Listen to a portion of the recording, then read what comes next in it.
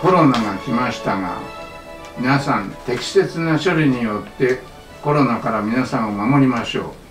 一つはこのスーパー麺によって目と鼻口を守ります。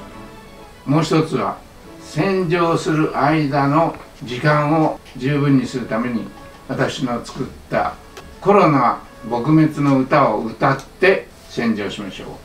それでは始めます。やってきた。やってきた。スーパーメンがみんなをコロナから守るためやってきた。やってきた。やってきた。